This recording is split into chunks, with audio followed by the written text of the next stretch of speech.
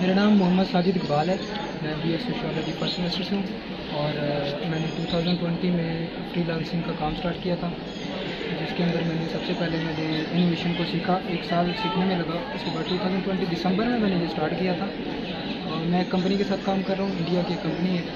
जो एनिमेशन करती है two D three D animation का काम करते हैं, उनके लिए मैं करेक्टर डिज़ाइन करता हूँ, उनके लिए मैं, उनके मोटिवेशन बनाता हूँ उनके लिए।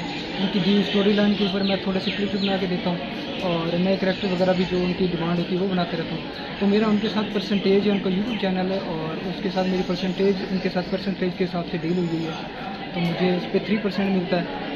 उस कंपनी में तकरीबन सेवेंटी परसेंट काम वैसे मेरा होता है, लेकिन थ्री परसेंट के हिसाब से मुझे वो तीन से साढ़े तीन लाख रुपया देते हैं। तो उसमें उनका तकरीबन एक करोड़ रुपया वो कमा रही है कंपनी तो ज़्यादा काम मेरा ही होता है एनिमेशन भी करता हूँ, उसके बाद करेक्टर भी बनाता हूँ एनिमेशन भी करता हूँ और थोड़ी बहुत मिक्सिंग भी कर देता हूँ, वो सिर्फ़ वॉइस ओवर करते हैं स्टोरी लिखते हैं।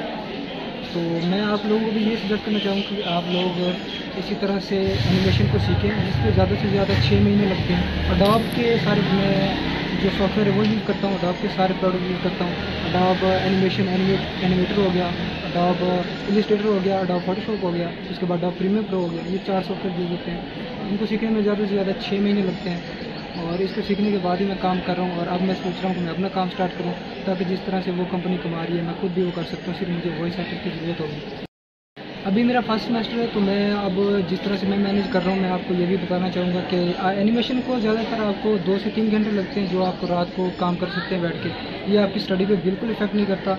सबसे बड़ी बात, ये बहुत ही इंटरेस्टिंग होता है, इसमें एनिमेशन करने में बहुत मज़ा आता है। तो बंदा इसमें ज़्यादातर थकता नहीं है, इसको कोई किसी किस्म की इरिटेशन फील नहीं होती। आप कंप्यूटर पर बैठ के काम कर सकते हैं आराम से।